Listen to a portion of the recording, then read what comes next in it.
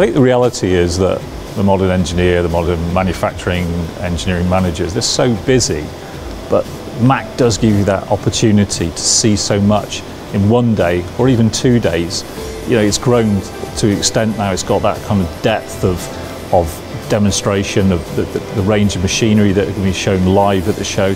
It means it really is arguing now for people to take at least what certainly a whole day, but certainly to consider two days now to get around the show. And where else in the UK can you do that? There's no opportunity to do that within the UK. In fact, I know that the MTA are actually encouraging people to come in from Europe as well because Birmingham's so well set, the NEC connectivity to Birmingham Airport is really good. So no reason why we shouldn't, and I believe we will see visitors from Europe this time as well.